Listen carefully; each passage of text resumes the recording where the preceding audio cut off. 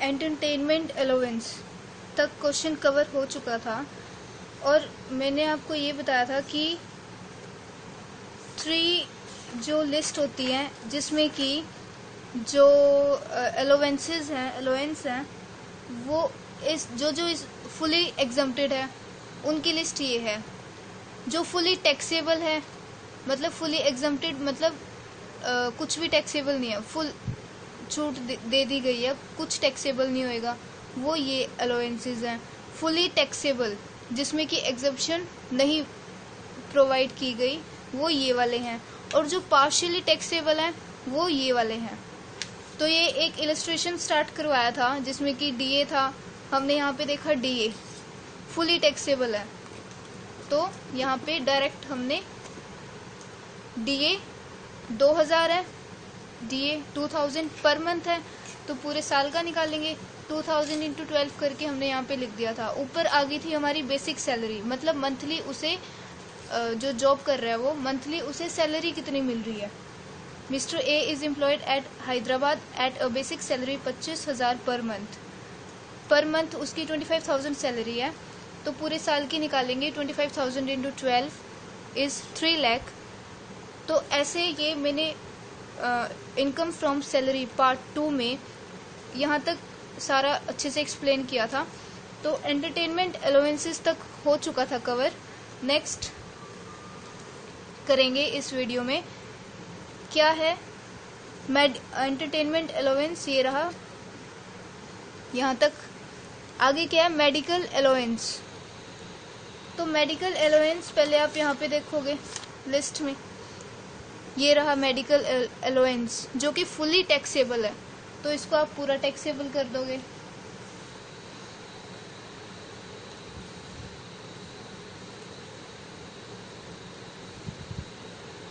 कितना है ये? एट हंड्रेड पर मंथ पूरे साल का निकालोगे आप। आठ सौ पर मंथ है तो इंटू बारह करोगे तो पूरे साल का आ जाएगा। नाइन्टी सिक्स हंड्रेड नेक्स्ट क्या है? सिटी कंपनसेटरी अलाउंस यहाँ पे चेक करो सिटी कंपनसेटरी ये रहा सिटी कंपनसेटरी अलाउंस जो कि फुली टैक्सेबल है। तो कुछ एग्जम्पन है ही नहीं। तो जो ये आपको दिया हुआ है, जितना अमाउंट वो फुली टैक्सेबल हो जाएगा।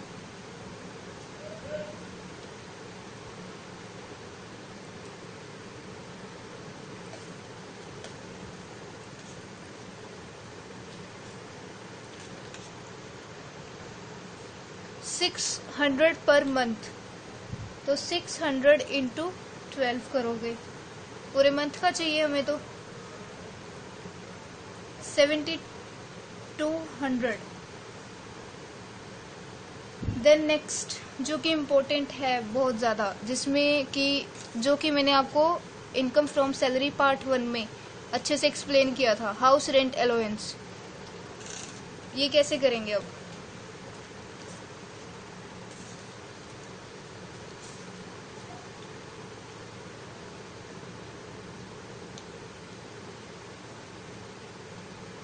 कितना गिवन है? फाइव थाउज़ेंड पर मंथ तो पहले तो आप क्या करो? Simple five thousand into twelve करके पूरे मंथ का निकाल लो। ये चीज़ पूरे मंथ की निकाल लो। कितना आ जाएगा? सिक्सटी थाउज़ेंड अब एक बार कंडीशन देख लेते हैं क्या क्या थी। कितना कितना एग्जाम्प्टेड है? हाउस रेंट अलाउंस जो कि section ten clause thirteen A के अंडर कवर होता है। Exempted will be list of the following three ये तीन पॉइंट्स हैं इनमें से जो लीस्ट होगा सबसे वो हमारा एग्ज़ाम हो जाएगा। पहला पॉइंट क्या है? Fifty percent of salary fifty percent किसका लोगे आप? अगर आ, ये इन इन में वो जॉब करता है एम्प्लॉय बॉम्बे कलकत्ता मद्रास या फिर दिल्ली तो फिफ्टी परसेंट होएगा सैलरी का अदरवाइज़ फोर्टी परसेंट होएगा सैलरी का। अगर कोई इनसे अलावा इनके अलावा अगर कोई और सिटी है तो फोर्टी परसेंट सैलरी का होएगा। Second point actual house rent received कितना उसे हाउस रेंट मिला? एम्प्लॉयर से, एक एम्प्लॉय है, उसको एम्प्लॉयर से, अपने एम्प्लॉयर से कितना हाउस रेंट मिला? अब इसमें जो हाउस रेंट अलोवेंस है, वो है फाइव थाउज़ेंड पर मंथ उसे मिल रहा है इतना।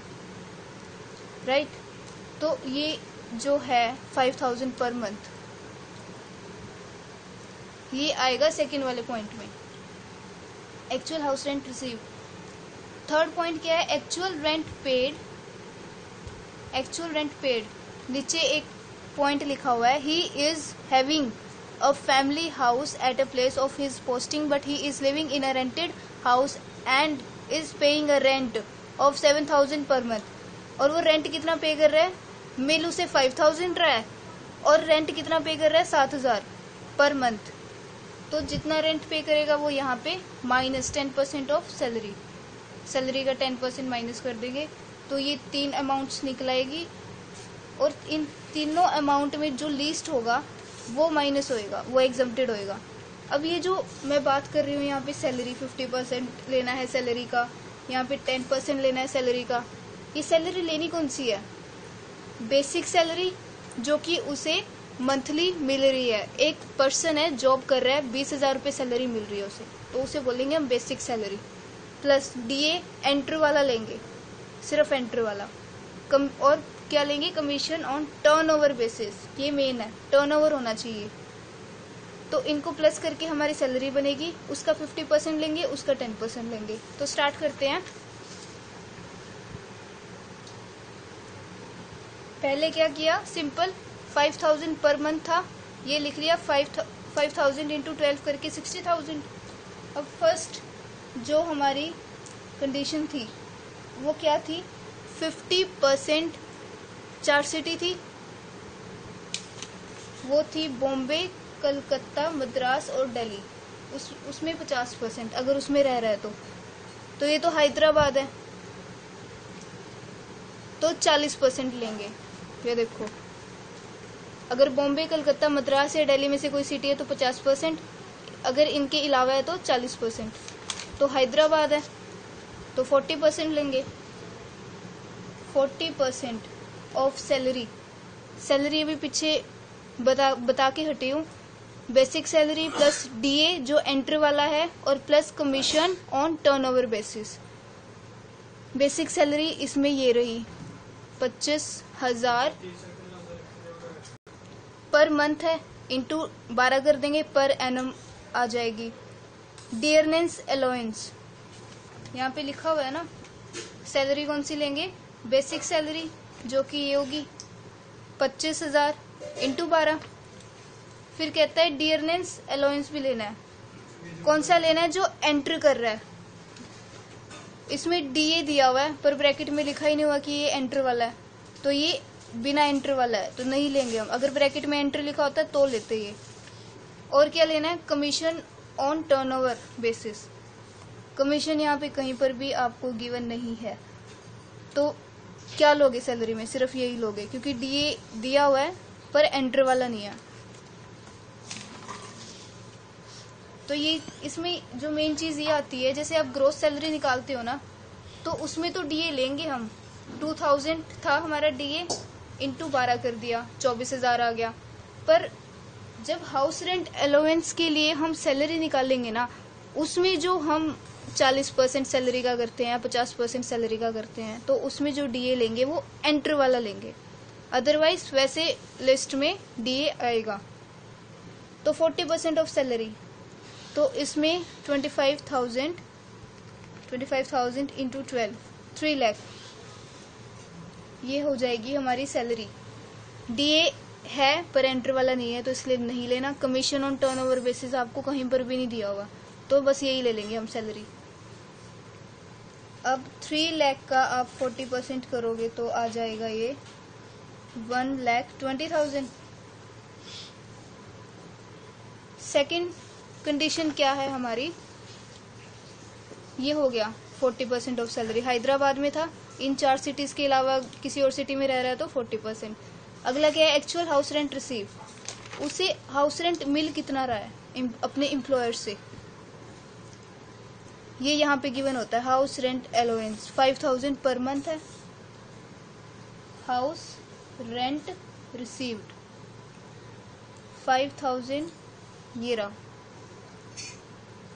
Month into twelve sixty thousand C point क्या है हमारा?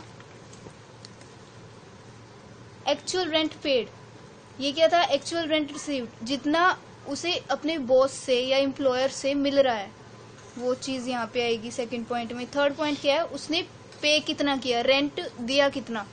Minus ten percent of salary तो ये चीज़ आपको नीचे गिवन है। He is having a family house at a place of his posting but he is living in a rented house and is paying a rent seven thousand per month कितना pay कर रहा है वो? सात हज़ार पर महीने का। पर मंथ तो सात हज़ार को पहले तो बारह से मल्टीप्लाई करोगे। तभी पूरे साल का निकलेगा।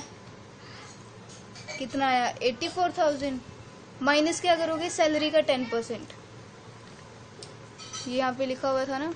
Actual rent paid minus ten percent of salary salary यहाँ पे कितनी ली? थ्री लैख वही यहाँ पे लोगे। इसका टेन परसेंट कितना आ जाएगा? थर्टी थाउज़ेंड इसको माइनस कर दोगे तो फिफ्टी फोर थाउज़ेंड अब इन तीनों में से हमने लिस्ट देखना है। वो एग्जाम्प्ट हो जाएगा। लिस्ट कौन सा इन तीनों में से? ये फिफ्टी फोर थाउज़ेंड ये वाला कम है। तो ये इतनी एग्जामेशन मिल जाएगी उसे। हाउस किसमें से माइनस करेंगे ये? साठ हज़ार में से। फाइव थाउज़ेंड जो हाउस रेंट एलोवेंस उसे मिल रहा था, वो फाइव थाउज़ेंड पर मंथ मिल रहा था। हमने क्या करा? हाउस रेंट एलोवेंस लिख के five thousand into twelve per annum निकालना है तो इंटू ट्वेल्व करेंगे, सिक्सटी थाउज़ेंड आ गया। और फिर तीन कंडीशंस लगा दी इन तीन कंडीशन में से हमने ये देख लिया लिस्ट कौन सा है? वो है फिफ्टी फोर थाउज़ेंड तो इस ये जो साठ हज़ार है ना, इसमें से हम माइनस करेंगे। माइनस करेंगे फिफ्टी फोर थाउज़ेंड। इसको ऐसे ब्रैकेट में लिख लो। तो ये कितना आ जाएगा? छ हज़ार। छ हज़ार टैक्सेबल होएगा सिर्फ़। फ़र्स्ट क्या forty percent of salary salary में क्या लेते हैं?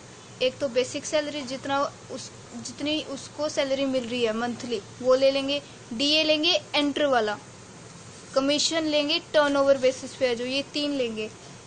वो सैलरी आ जाएगी, उसका फोर्टी परसेंट कर देंगे। सेकंड क्या है? हाउस रेंट रिसीव्ड उसको मिला कितना? हाउस रेंट उसे कितना मिला? अपने एम्प्लॉयर से, वो यहाँ पे लिख देंगे। उसने पे कितना किया? रेंट दे कितना रहा है वो एक्चुअल में? वो चीज़ यहाँ पे लिखेंगे। पर मंथ दिया होगा तो इंटू बारह करके लिख दोगे और माइनस कर दोगे सैलरी का टेन परसेंट यहाँ पे ली थी ना सैलरी उसी का टेन परसेंट कर देंगे यहाँ पे। तो इन तीनों में से जो लीस्ट आएगा, उसको हम एग्जाम्प्ट कर देंगे और जो टैक्सेबल होगा वो यहाँ पे लिख देंगे बाहर। और फिर बाद में क्या करोगे? टोटल कर दोगे इसका। टोटल कर दोगे तो आपका आ जाएगा four seven eight eight zero zero ये आ गया आपकी ग्रोस सैलरी बस, ये क्वेश्चन खत्म यहाँ पे। तो बस पहले तो पहली चीज़ क्या पता होनी चाहिए? कोई भी एलोवेंस आ जाए। पहले तो ये पता होना चाहिए कि वो फुली टैक्सेबल है या फिर फुली एग्जाम्प्टेड है। ये दोनों तो इजी है। अगर वो फुली टैक्सेबल नहीं है, ना एग्जाम्प्टेड है तो पार्शियली टैक्सेबल होगा। उसमें से मतलब कुछ हिस्सा एग्जाम्प्टेड होगा। तो अगर इस लिस्ट में फॉल करता है तो आपने यहाँ पे देख लेना कि एग्जामेशन छूट कितनी दी गई है। जितनी, जितना एग्जाम्प्टेड है, वो माइनस कर दो एक्चुअल अमाउंट में से। इसमें से जो अलाउेंसेस पार्शियली टैक्सेबल है, जितना एग्जाम्प्टेड है, वो इनमें से माइनस कर दो, वो बाहर टैक्सेबल आ जाएगा। और उसको प्लस कर दो ग्रोस सैलरी आ जाएगी आपकी। बस।